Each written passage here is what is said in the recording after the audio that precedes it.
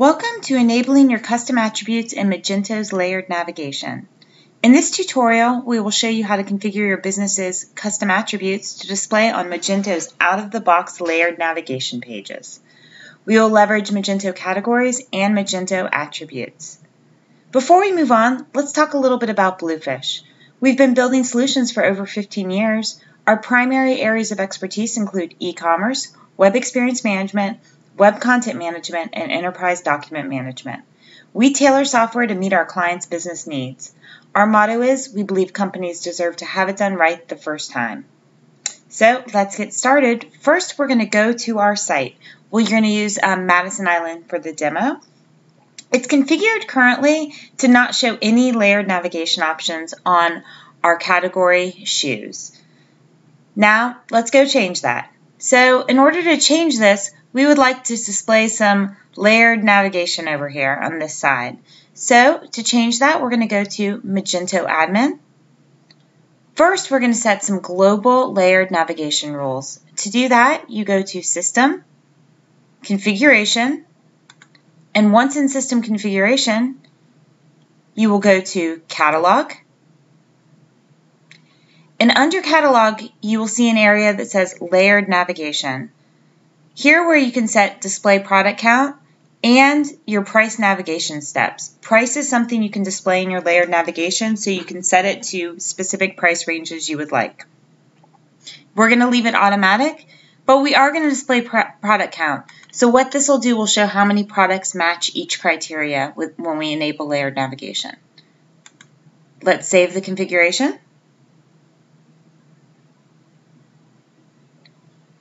Now, let's go over to our shoe category. You go to Catalog, Manage Categories. Going to open up our shoes. What you need to do with this is under the tab Display Settings, there's an option Is Anchor. Set anchor to Yes. And also at the bottom, I mentioned the price step. You can also use configuration for your price step, or you can set this for each specific category that you would like. So let's go ahead and save our category.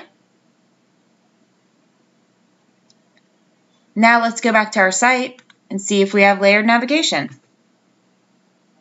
And we do. We have price. Hey, what about our custom attributes? This was about setting custom attributes for your business so someone could filter by them. Well, now we need to go back and configure our custom attributes to allow them to be used within layered navigation. So we'll go back to Magento Admin. And this time we're going to select Catalog, Attributes, Manage Attributes. For this, we're going to use some of the shoe information that we set up in a previous demo about configuring custom attributes and attribute sets. So Let's set color. So we're going to open up an attribute. And to allow an attribute to be used in layered navigation, under front-end properties, there is an option Use in Layered Navigation. Yes, filterable with results or filterable with no results. So for this, we're going to set filterable with results, so it will only display items that actually have results. We will save. Let's also set our shoe size. Again, we're going to go to Use in Layer Navigation, make it filterable with the results. And finally, let's set one more. Let's set one of our multi-select. Because one of the things in layered navigation, there are only three types of um, attribute types that you can use in layered navigation, and that's drop down, multiple select, and price.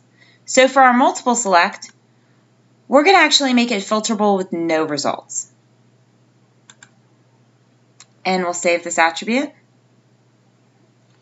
Now, let's go back to our site, assuming we have simple products or configurable products that have these attributes set, which we know we do from previous tutorials. Go to my shoes cat category and refresh the page. And voila, we have all of our layered navigation over here on the left that we just configured.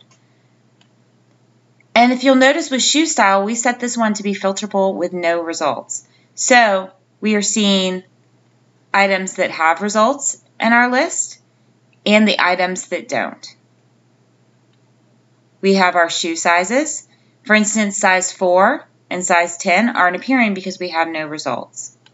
The same as shoe color because we set these to filterable only with results. So we have a white and a brown and a few other colors in the system and those won't display over here. So that's it for enabling custom attributes on the out-of-the-box Magento layered navigation. Hope this was helpful and thanks a lot for watching today. Stay tuned for additional tutorials on how to use custom attributes on advanced search. Feel free to reach out to us anytime.